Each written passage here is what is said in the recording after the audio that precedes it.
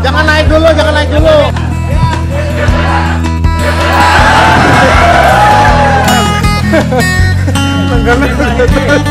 Lalu hancur di bawah. Terakhir nih.